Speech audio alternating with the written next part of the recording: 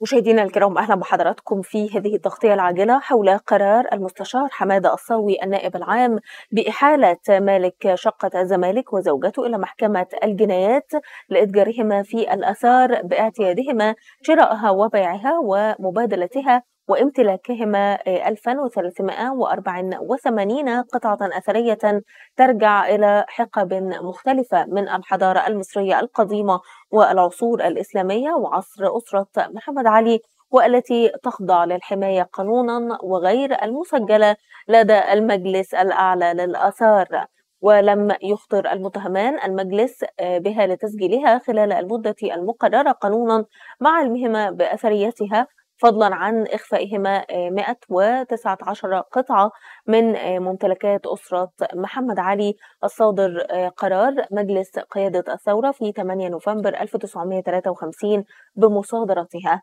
هذا وكانت النيابة العامة قد قامت الدليل قبل المتهمين من شهادة 16 شاهدا من بينهم حراس العقار محل الشقة وأحد جيران المتهمين ووكيل قسم مباحث الآثار مجري التحريات فضلا عما تبين للنيابة العامة من معاينتهما للشقة وما فيها من قطع أثرية متكدسة عثرت عليها إدارة التنفيذ بمحكمة جنوب القاهرة الابتدائية خلال اتخاذها إجراءاتها إضافة إلى ما تمكنت النيابة العامة من ضبطه من قطع أثرية أخرى ومستندات هامة بالشقة بعد إفراغها من التكدس.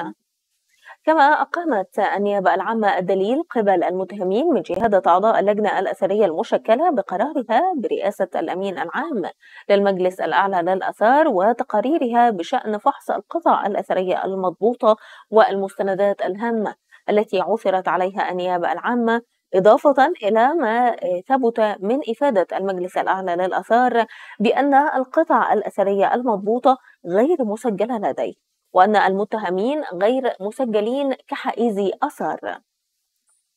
كذلك أقيم الدليل مما تبين للنيابة العامة من إطلاعها على المستندات الهامة التي تم ضبطها وربطها بما ثبت بتقارير فحص تلك المستندات من قبل اللجنة الأثرية وتقرير إدارة أبحاث التزييف والتزوير بمصلحة الطب الشرعي حيث كان حاصل الدليل المستمد منها علم المتهمين اليقيني بحيازتها وأنهما بحيازة قطع أثرية وإتجارهما في الآثار.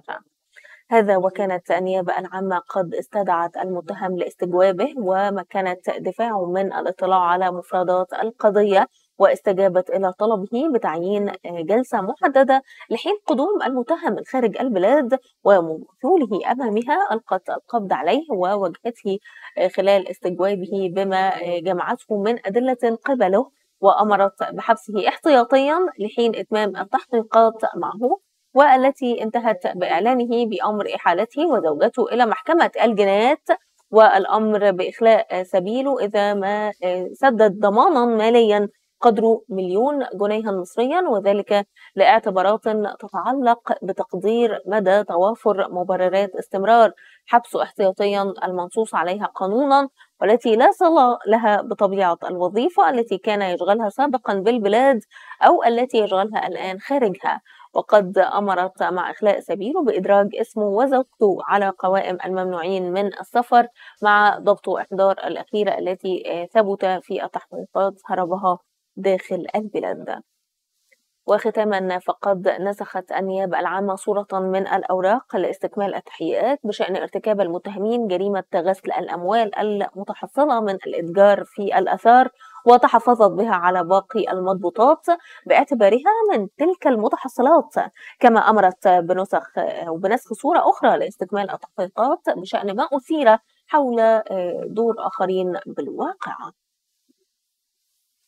هذه كانت كافة التفاصيل حتى الآن. بالتأكيد سنطلع حضراتكم على مستجدات الأمر أول بأول من تلفزيون السابع. بشكركم شكرا جزيلا للمتابعة وإلى اللقاء.